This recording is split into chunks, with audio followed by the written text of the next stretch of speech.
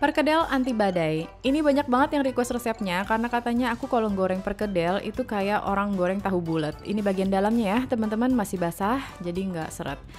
Pertama kita potong-potong kentang dulu, jangan terlalu kecil-kecil banget. Kemudian langsung kita goreng menggunakan minyak yang panas dan jumlahnya juga masih banyak minyaknya ya. Kita goreng hingga matang dan berkulit, jangan terlalu kering banget sih. Kemudian kita tiriskan. Setelah ditiriskan, ini aku, mau halusin menggunakan ulekan aja. Aku haluskan bersama kaldu bubuk sama lada bubuk. Teman-teman kalau mau mix antara kaldu bubuk dengan garam juga oke. Okay. Kita haluskan di sini. Terus ini aku punya satu butir telur, kita masukkan. Teman-teman kalau yang nggak biasa, telurnya bisa masukin secara step by step. Kemudian kita aduk menggunakan daun seledri. Nah ini ya teman-teman konsistensinya jadi nggak terlalu kering dan nggak terlalu banyak banget adonannya ya.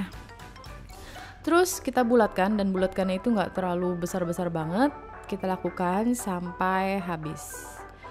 Di sini aku juga sudah siapkan telur yang dikocok, satu butir telur dikocok, aku gulingkan perkedelnya, kemudian langsung aku masukkan ke dalam minyak penuh yang sudah panas sekali.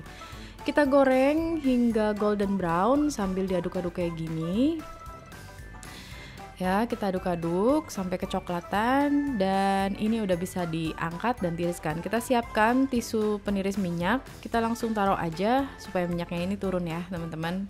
Dan ini dia perkedel anti badai resep aku. Teman-teman bisa coba buat. Ini anti gagal. Selamat mencoba ya teman-teman